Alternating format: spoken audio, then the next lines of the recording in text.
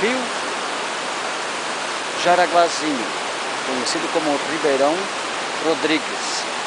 Antiga propriedade de Walter Marquardt, que chegou por volta de 1905 a esta região do Jaraguá Alto, na entrada do Ribeirão Rodrigues, ou melhor, Jaraguazinho.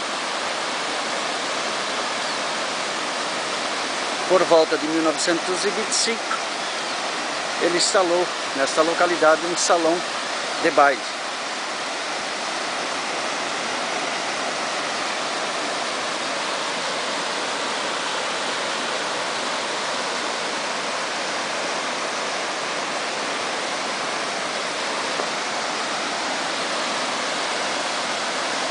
Este local foi muito fotografado desde os anos 30, 40, pelo pessoal que vinha passar férias no verão e que também aproveitava o local para banhar-se.